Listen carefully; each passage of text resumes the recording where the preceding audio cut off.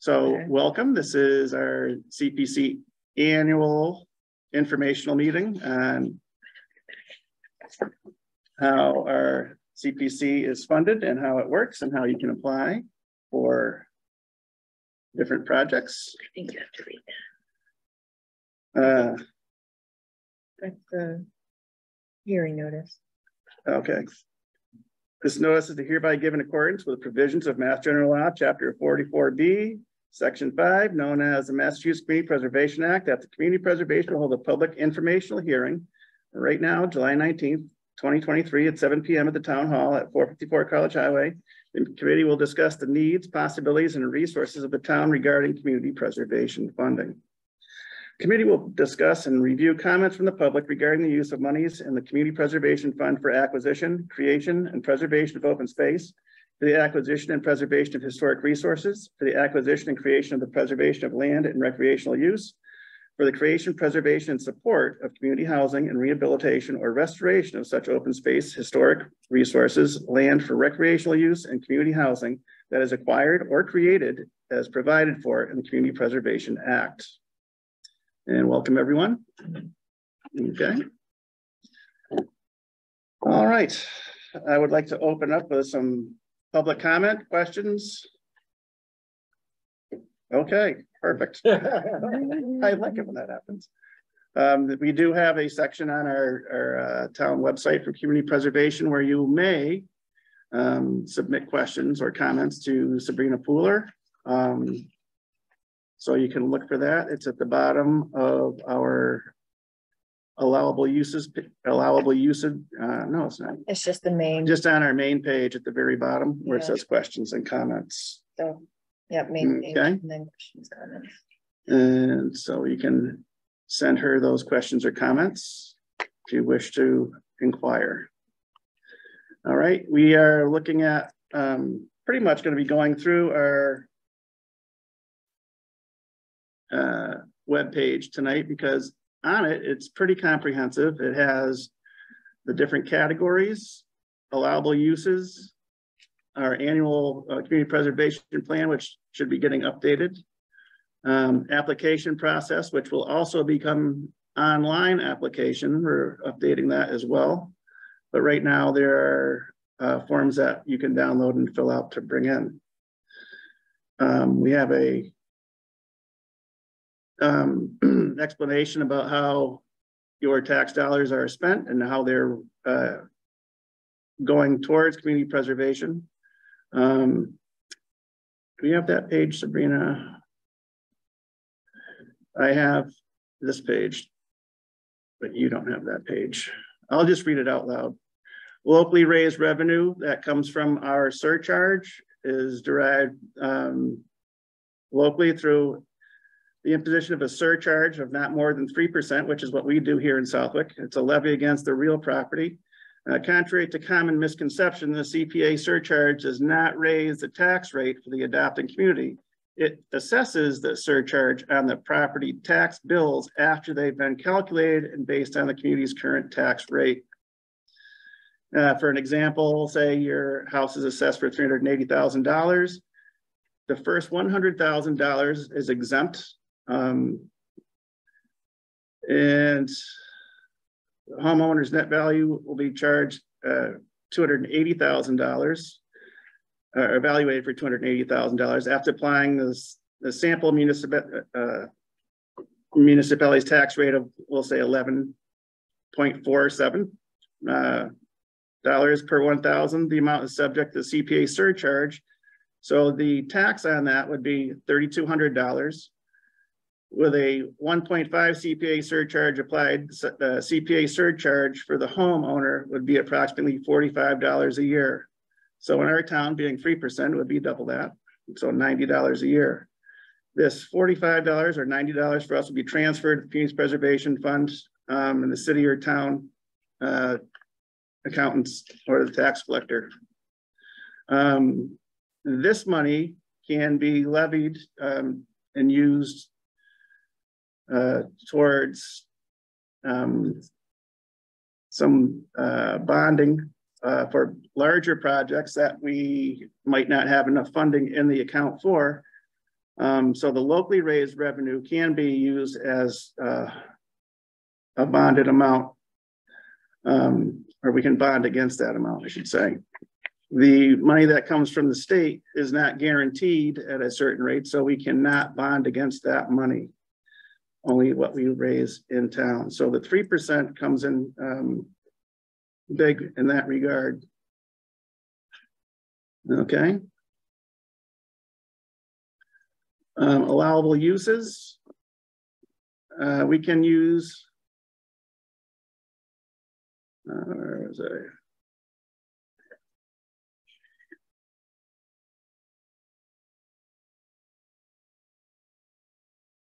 Where do I want to be categories? That's it. Thank you. Okay, we can look at uh, open space. Um, the acquisition or creation or preservation of open space, this money can be used for. The rehabilitation or restoration of open space, provided the open space was acquired or created with community money funds can also be used. Um, open spaces uh, defined as but not limited to projects existing in the future well fields, aquifers, recharge areas, watershed land, cultural land, grasslands, fields, forest land, fresh saltwater marshes, and other wetlands, um, oceans, rivers, streams, beach, dunes, and it goes on. Okay, so we can use that to uh, preserve that land because um, that falls under open space.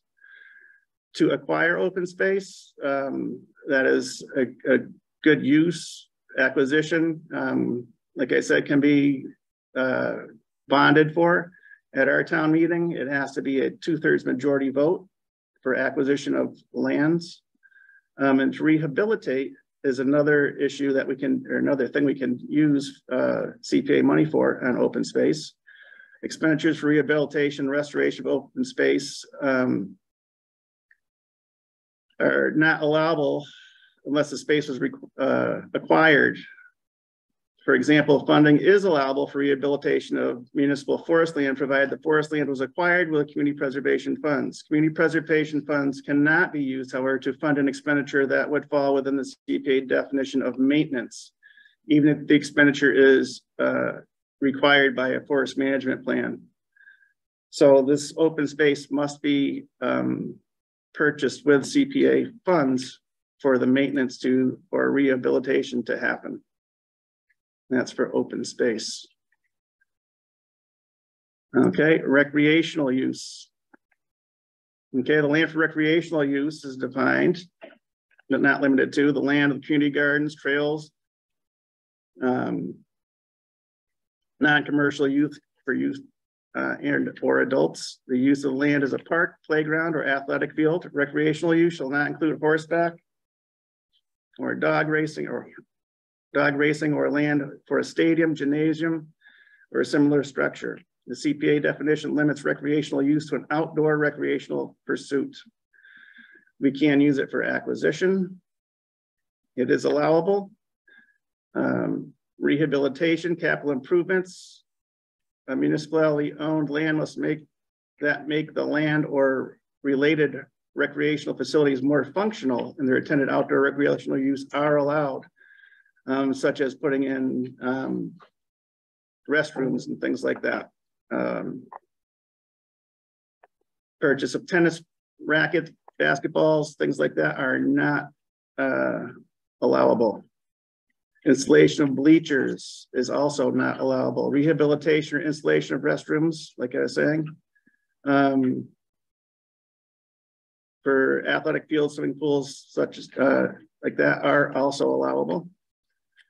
Acquisition, uh, creation and rehabilitation, funding for rehabilitation are also allowable.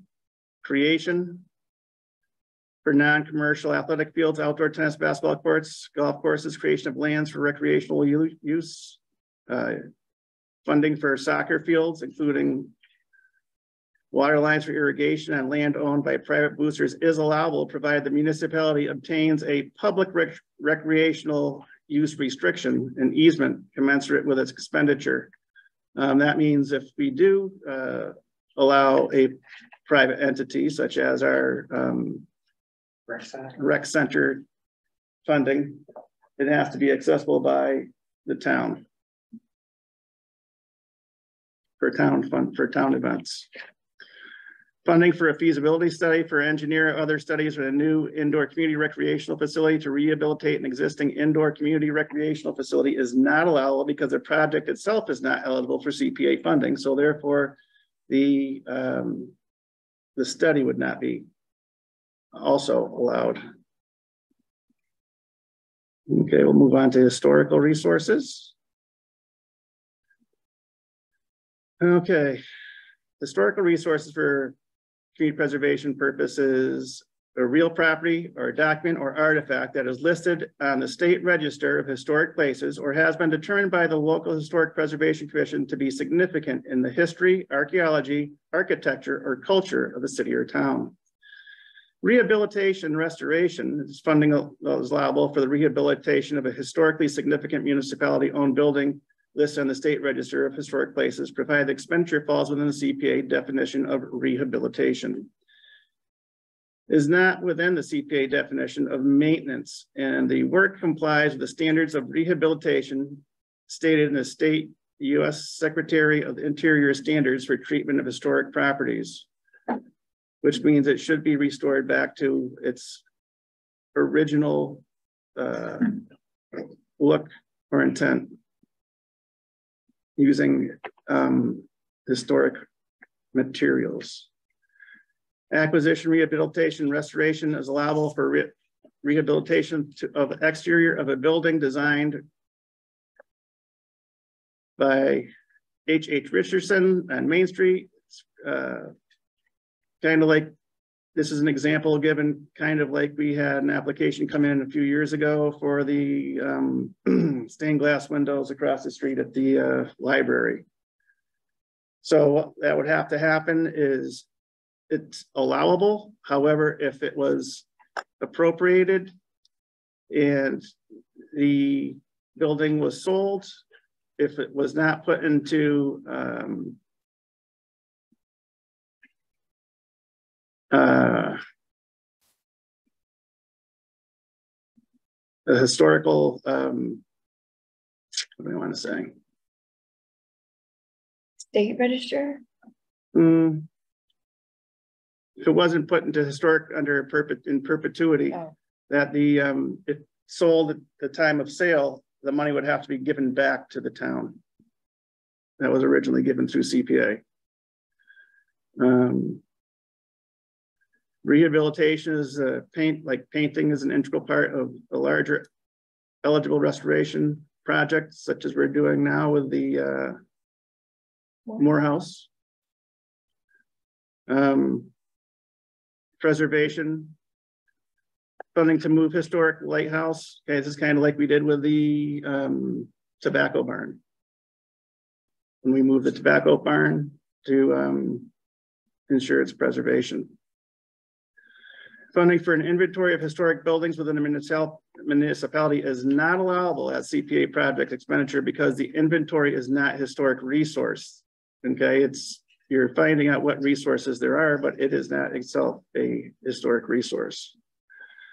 A document on file in the municipal clerk's office is not an, a historic resource under the CPA unless the document has been determined by vote of the local historic preservation commission to be significant in the history, archaeology, or architecture or culture of a city or town. And I believe there is going to be one of those um, coming in this evening uh, requests. So that might be a question we have at that time. If municipal document is determined by the vote of the Historic Preservation Commission to be significant of the history, archaeology, or architecture of the culture of the city or town, then the CP funding is allowable for the acquisition, preservation, rehabilitation, or restoration of the physical document. For example, CPA funding could be used to acidify the paper, repair tears, remove harmful films and residues, and encase the document in protective mylar. These expenditures would be allowable as restoration or preservation of a historic resource document. Um, we have done this in the past um, with some town documents. All right. Let's go to community housing. In our community housing, we have uh, built up a little bit of money because we don't have as much use for community housing funds in Southwick. We have very few um, places that are applicable to this fund. Although uh, it could be funding uh, for construction of affordable housing units and the affordable housing restriction held by the municipality. Mixed development is allowable, so there we can create also um, affordable housing. Acquisition and creation is outlined here also on our website, if anyone would like to look into that further. Rehabilitation, we have um, capital improvements for extraordinary repairs, community housing, including replacement of kitchen cabinets, flooring, windows, doors and roofs. We right now also have a project, uh, flooring project coming in for some rehabilitation on that. Um, support, this is one that I wasn't sure of before. By definition, expenditures in support of community housing must be for the purpose of making housing affordable. As a result, the housing asset itself must be made affordable by the expenditure. Okay, uh, CP, CP funding is allowable for following rental assistance program. Municipality enters into an agreement with a nonprofit or local housing authority. Um, the landlords will be will find suitable units to participate in the program and eligible tenants seeking affordable housing. The program documents include coterminous contracts and it goes through some more of the legal jargon. So it can be also used to help support um, affordable housing. Funding for affordable housing needs assessment is not allowable as C, uh, community preservation project expenditure because it does not acquire, create, preserve, rehabilitate, rehabilitate, restore, or support any particular housing asset. However, the needs of the assessment is a fundable, is fundable under the CPC's administrative and operating budget if the if it will assist the CPC in performing its statutory statutory duties. That means if we have questions, we can look into it. We can use the assessment. Um, so we can fund it ourselves, not through the applicant, but through ourselves through the administrative fund to see if it does fit. Okay.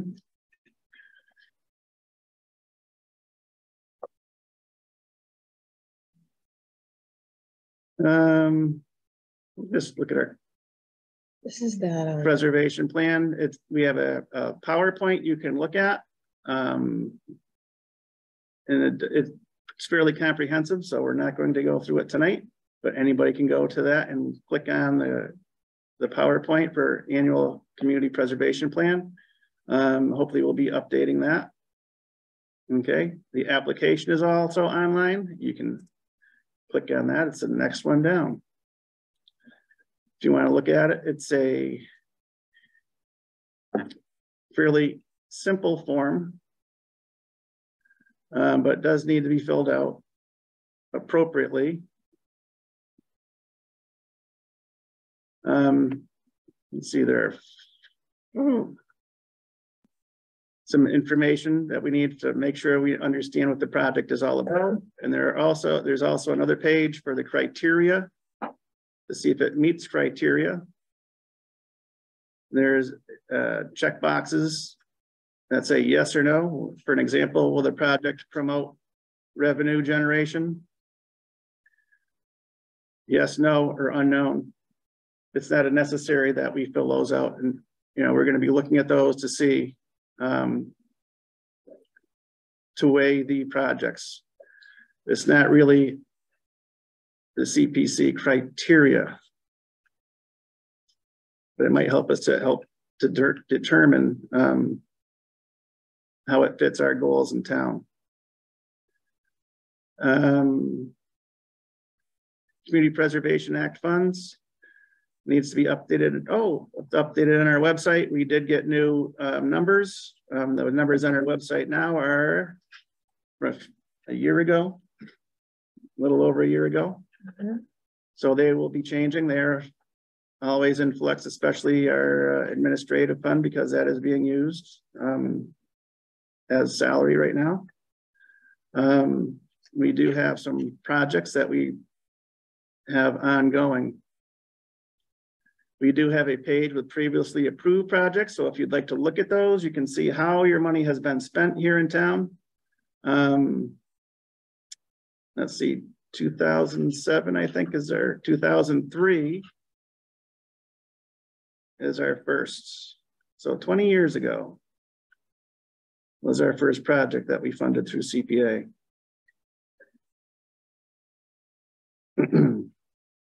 Oh, the Braska phone. Nebraska Farm, yeah. Oh,